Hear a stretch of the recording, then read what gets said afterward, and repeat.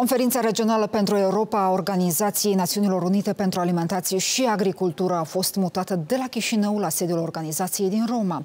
Ministerul rus de externe a spus că acest lucru a fost făcut la insistențele Moscovei.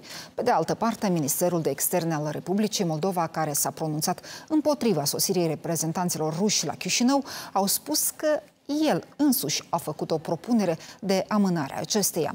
Să ne amintim că mai devreme Republica Moldova, în calitate de viitor organizator al evenimentului, a declarat că nu va permite delegațiilor din Rusia să vină în țara noastră. Reprezentantul oficial al Ministerului Afacerilor Externe al Federației Ruse, Maria Zaharova, a declarat că Moscova a reușit să facă astfel încât locul desfășurării conferinței regionale a Organizației pentru Alimentație și Agricultură a Națiunilor Unite să fie schimbat. Măsurile au fost luate după ce Ministerul de Externe al Republicii Moldova l-a informat pe ambasadorul rus Oleg Vasnețov despre reticența de a vedea delegația rusă la întâlnirea de la Chișinău. Potrivit lui Zaharova, în urma transferului, Moldova a suportat nu numai costuri politice, politice, ci și pierderi financiare.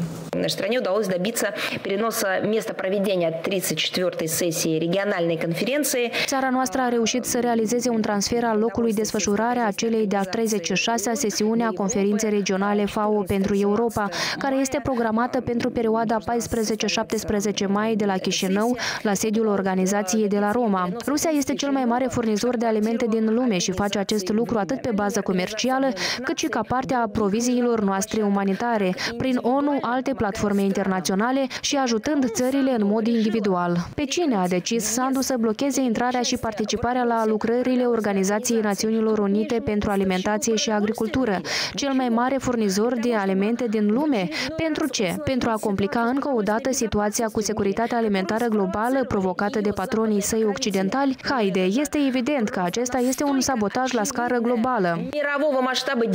La câteva ore după discursul Mariei Zaharova, Ministerul de Externe al Republicii Moldova a făcut o declarație despre amânarea forului. În ceea ce privește cea de-a 34-a conferință FAO pentru Europa, confirmăm că autoritățile Republicii Moldova au luat o poziție de principiu de a nu permite să intre pe teritoriul lor reprezentanții unui stat membru FAO care a lansat un război împotriva altui stat membru FAO. Autoritățile Republicii Moldova au informat toate părțile interesate despre posibilele modalități prin care delegațiile pot participa participa în format hibrid la eveniment.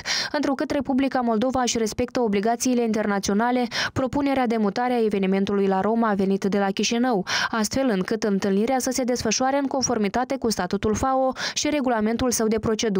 A precizat Ministerul de Externe al Republicii Moldova, subliniind că cea mai bună contribuție a Rusiei ar putea fi încetarea agresiunii împotriva Ucrainei și respectarea principiilor Cartei ONU.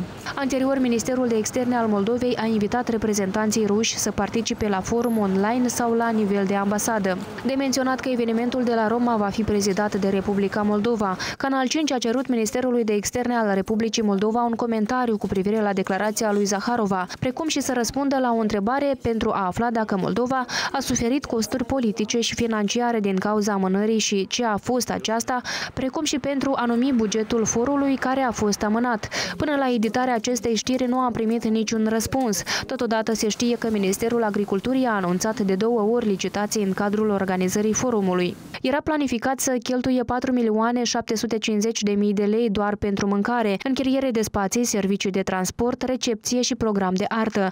Unii politicieni au evitat subiectul amânării unui forum major. Astfel, reprezentantul Partidului Renaștere, Alexandru Nesterovski, a scris pe canalul său de Telegram, cităm, Colegii europeni au clar mai multă inteligență, au decis să nu repete prostiile autorităților galbene moldovenești românești și să împiedice participarea la FAO a unuia dintre principalii jucători de pe piețele alimentare și agricole și ce a realizat pas ca urmare, o altă rușine și o altă agravare a relațiilor cu Federația Rusă. Iar jurnalistul Dimitri Ciubașenko a remarcat, Ministerul de Externe al Moldovei a spus că mai întâi nu a permis delegației ruse să participe la conferința ONU de la Chișinău, iar apoi a cerut ONU să mute conferința de la Chișinău la Roma, astfel încât delegația ar putea veni acolo. Diplomația moldovenească este atât de vicleană.